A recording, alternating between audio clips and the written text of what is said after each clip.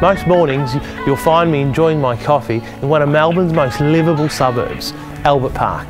My name's James Nicolau from the Buxton Real Estate Group. Welcome home.